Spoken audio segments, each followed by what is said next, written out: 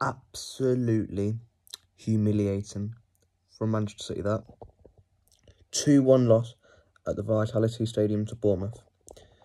And 2 1 flat as Bournemouth as well. I mean, flat as City, sorry. Because Bournemouth should have won about 8 1. They had so many chances to score more goals than two, and they just didn't take them. The only players that can come off that pitch with their head held high today is Ederson, Gvardiol, Nunes and Foden. The rest of our players, absolute crap. Walker, crap. But I'm not going to blame him because he was put into a game that he wasn't even fit to play in. So you can't really blame him for that.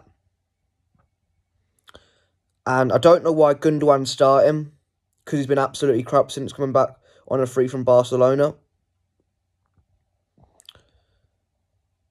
Haaland, I don't know how he missed that one at the end. It was easier to miss than to score. Oh, what the actual hell was that today? I can handle losing a game of football, but what I can't handle is losing a game of football where you play that bad and you show literally no passion or fight or desire for the badge. And that's what I saw today. It's our own fault that we're in this injury crisis, though, because we didn't invest in the areas where we needed to invest in in the summer transfer window when we had the opportunities to.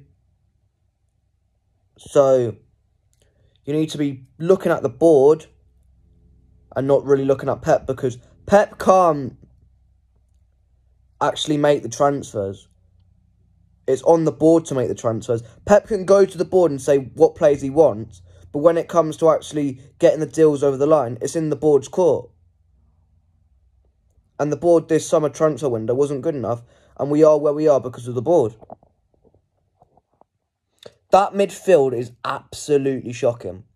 Foden was the only player in that midfield actually trying to create something. And he had some of our better opportunities in the game. That one, like, really towards the end where it went wide at the post when it was 2 1 in the dying embers of the game. But Kovacic.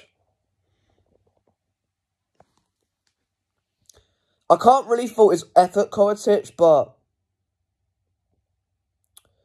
he it just didn't come off for him today at all.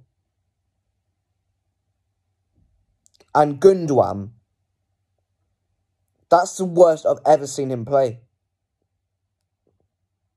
Because the assist will make it out to look like that he had a good game, but he was absolutely atrocious. And I don't know how many times within the midfield we were giving the ball away, and it, and every time we were passing the ball, it was going to a Bournemouth player, not a City shirt.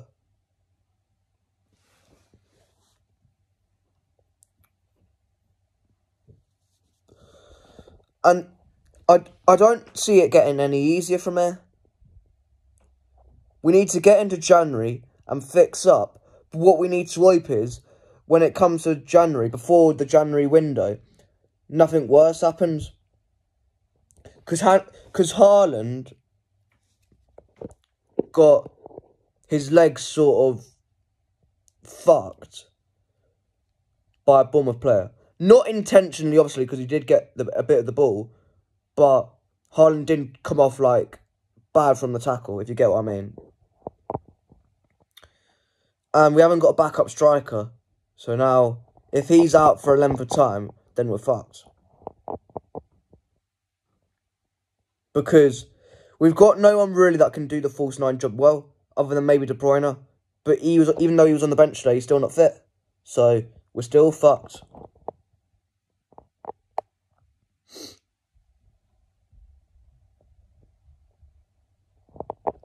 Grealish, you can play there, still out fucking injured.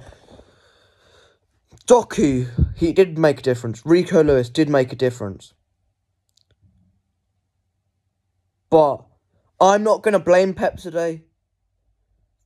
Even though he did maybe get like one or two decisions wrong with Walker and Gundogan starting, mainly this performance is on the players and the players only. Because not enough of our players turned up. And when not and when not enough of your players turn up, then you don't deserve to get three points in my eyes. Bournemouth should have won about 8-1. They hit the post. Ederson made about 3-4 saves. And that's one of the worst City performances I've seen under Pep Guardiola. And there's been very few bad ones. There's only like a couple that come close to that, and that's Villa away last season, where we lost 1 0. Or when we lost 2 0 to Wolves at home in the 1920 season when Adama Traore scored two goals. But leave a comment on this video because you might think I'm overreacting, but I don't think I am. I'm being brutally honest with you. That performance was absolutely shambolic, and we deserved what we got absolutely nothing, and we should have lost by way more than just one goal. But anyway, enjoy your Saturday night, and don't let it get you too down. We never win at home, we never win away. MCFC, okay. See you guys next time. Up the Blues.